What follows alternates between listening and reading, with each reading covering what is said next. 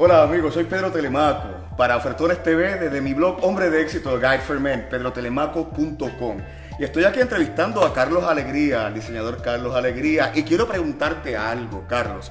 Si tengo poco presupuesto y quiero hacer un apartamento elegante, ¿Qué tú me aconsejas? Gracias por la invitación, Pedro.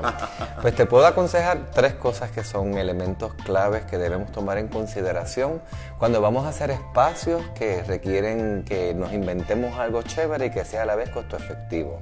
Lo primero que tenemos que tomar en consideración es el color.